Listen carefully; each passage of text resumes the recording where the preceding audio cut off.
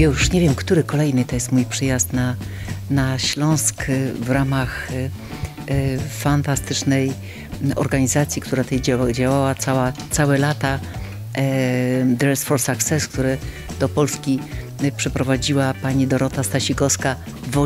Y, Bywałam tutaj nawet nie jeden raz w roku, tylko bardzo często byłam mentorką dla tych kobiet, które chciały znaleźć się na rynku pracy. W związku z tym y, bywałam tutaj w bardzo wielu miejscach i w Zabrzu, i w Dąbrowie Górniczej, i w Katowicach. I ja kiedy mówię e, Ślązaczki, to oczywiście silne charaktery, e, fantastyczne, dzielne dziewczyny, które zawsze brały się za bary z życiem, które miały pomysł na siebie.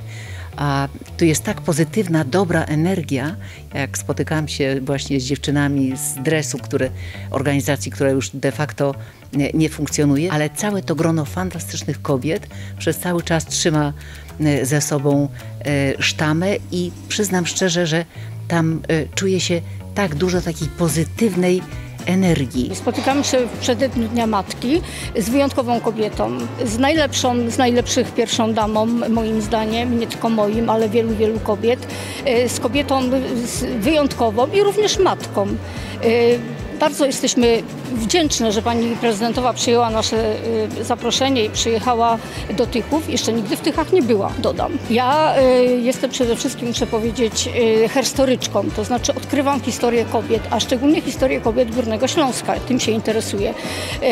Z moimi koleżankami napisałyśmy, opisałyśmy, odkryłyśmy około 100 kobiet ze Śląska, znany, y, kiedyś ongi znanych, potem zapomnianych, a dzisiaj ponownie odkrytych i, i znanych w szerszej publiczności. To są kobiety, które mieszkały na Śląsku e, w okresie międzywojennym, które brały udział w powstaniach. E, Tymi kobietami się zajmujemy, ale oczywiście to, jest, to są nasze przodkinie. I to, co mamy tu dzisiaj, to jest ich dziedzictwo. To, jakie jesteśmy, to jest dziedzictwo przecież naszych matek, naszych e, babci, naszych prababci. To nie ma znaczenia, czy to jest ślązaczka, czy osoba taka jak ja, że z, z, z nadmorza.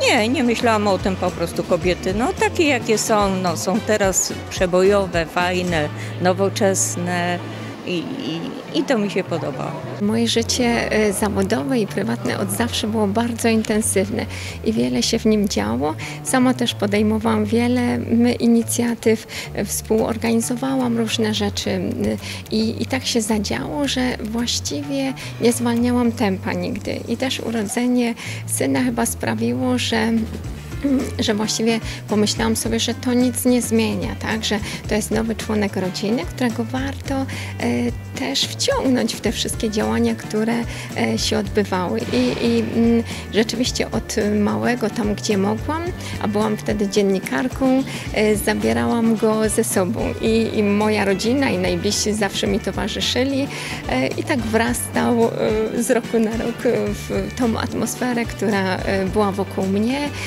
i, też widział tych ludzi, z którymi pracuję i, i z którymi przebywam i, i robię fajne rzeczy.